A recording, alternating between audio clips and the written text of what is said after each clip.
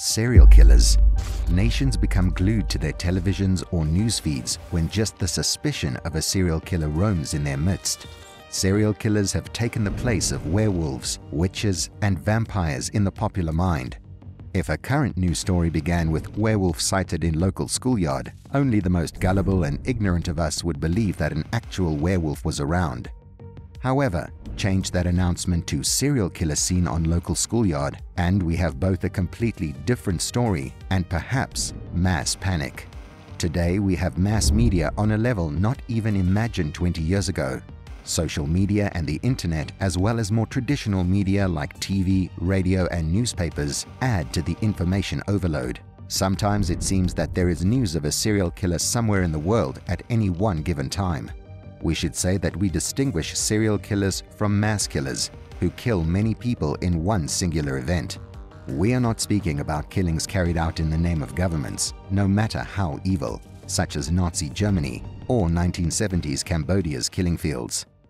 If you are a person who likes these types of dark topics and other events from history, please like this video and subscribe to our channel. The term serial killer has only been used since the late 1800s, and the term was used to describe the infamous and still unknown Jack the Ripper of Victorian England.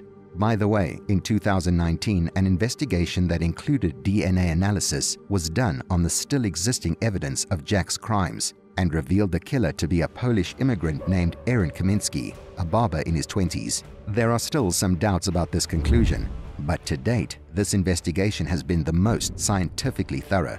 Since the 1950s, the term serial killers has been widely used as it has become a more psychological definition of what we know as the characteristics of modern-day serial killers. They usually begin by torturing and killing animals, then move towards torturing other children, and once the pleasure from others' pain is fully realized, the killer also comes to the conclusion that the ultimate pleasure will come from the death of another person. This is a very general description.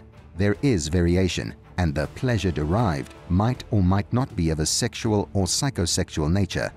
But for example, the killing of multiple women might represent a vengeance fantasy against a long-dead mother, and this fantasy induces pleasure. Unfortunately, that pleasure fades, and the need for it grows again, despite perhaps a short-lived but intense period of guilt or worry over being discovered. Soon, the murderer must kill again.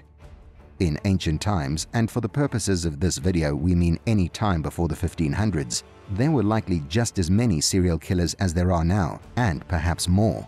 Think about it. Human nature and mental illness have not changed that much since ancient times. If anything, our ability to recognize and treat serious mental illness has grown exponentially since the time when a person talking to himself was treated as a witch or instrument of the devil, though in some quarters these types of beliefs linger today. Many, not all, modern serial killers have been diagnosed with one form or another of schizophrenia, in which one may hear voices, usually telling a person to do something out of the norm.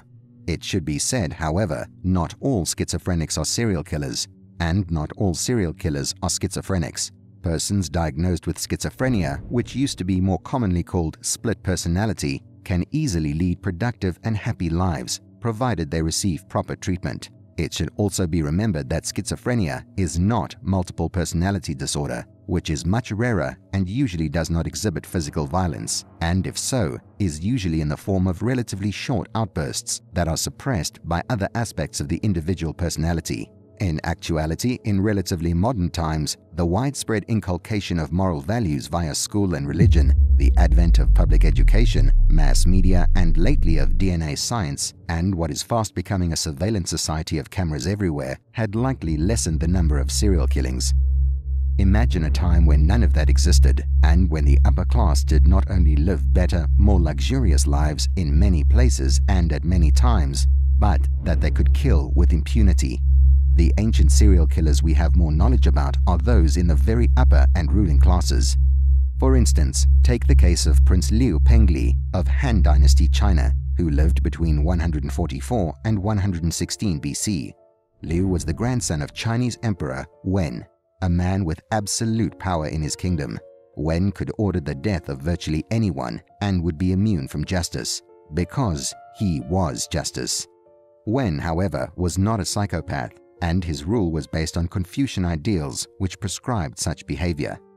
The emperor knew that killing innocents for no reason would likely contribute, perhaps only in a small way, to his dynasty's losing the mandate of heaven, the belief held until the 20th century, which had it that gods could bless or curse the rule of a dynasty, and serial killing might be seen as the incarnation of a god's cursing a dynasty or a people, sooner or later replacing it with another. Emperor Wen's grandson had no such compunction. As governor of his own fiefdom called Jidong, Liu Pang had absolute power and absolute immunity, at least for a time. Liu is history's first detailed account of a serial killer. It seems the prince, along with a number of his men and slaves, would flush people in hiding out and on a whim ride out at night and terrorize his peasants, likely killing hundreds for years. It's also likely that he didn't just kill at night, and his killing was done not only by his men, but by Liu himself, and likely included more horrifying ways to go than just a sword to the heart.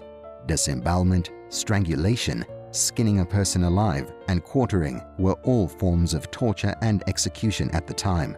Liu was only stopped when a brave soul, likely one of the local upper class, made it to the emperor's court and denounced Liu, which caused an investigation. Even then, the emperor could not bring himself to kill his grandson, only to strip him of his noble titles and cast him out of the royal family. Liu was sent to a neighboring province, and there the historical record ends. One of the most interesting serial killers was Gilles de Rais of France. Gilles de Rais is estimated to have killed 100 to 200 people, mostly young men, some of whom were sexually abused. Interestingly enough, de Rais was a nobleman who fought with the famed heroine of France, Joan of Arc. It is rumored that de Rais, knowing that as a convicted heretic who was burned at the stake, Joan was in hell, and sought to carry out his murders in the most heinous ways possible so that he might spend eternity with his beloved. Ironically, Joan of Arc was convicted in a kangaroo court and is now the patron saint of France, so unfortunately for Gilles, he burns alone.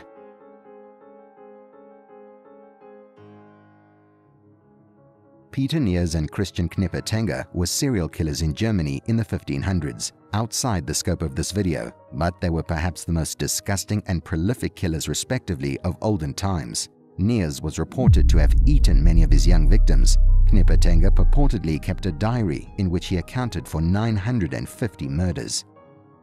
Perhaps the most infamous serial killer in the period covered by this video is Vlad the Impaler, Think of how evil one must be to be the person on which the famous 1897 novel Dracula by Bram Stoker was based.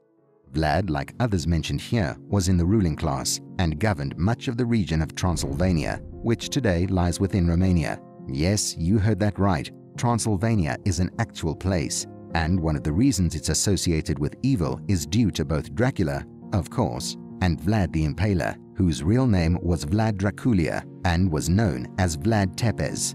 Vlad was the son of a local lord, whose last name does not mean vampire, but dragon. Vlad's father and older brother were assassinated by a local rival while he was away. Upon his return, Vlad engaged in an on-again and off-again eight-year struggle to reclaim his birthright. Was Vlad a serial killer as we know them today? Perhaps not, but we do know that he killed or had killed perhaps thousands of people, not only were the soldiers of his enemies killed, but those villagers that Vlad deemed to have aided them. It seems impossible, considering that Vlad's chosen method of execution was impalement, that he did not derive pleasure from the act.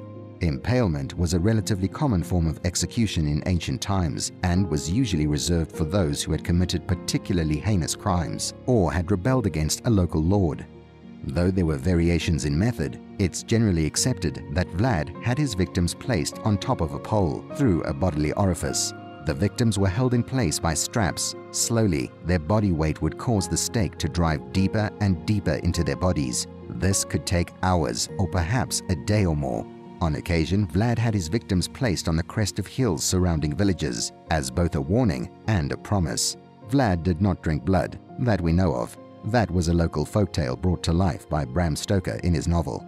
In ancient times, people moved from one area to another without being monitored. The culture of the time was highly dismissive of the lives of the lower classes. Law enforcement barely existed, and when it did, it took the form of soldiers, most likely oppressing rebellious peasants. There was no CSI or forensic science. Given all of this, most serial killers of ancient times are both unknown and were likely never caught.